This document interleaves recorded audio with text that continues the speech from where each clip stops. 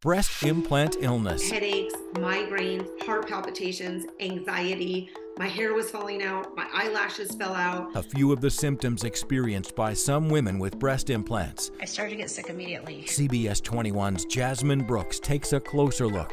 They've been making women sick for 60 years. And shares her personal story. All right, so how are you feeling?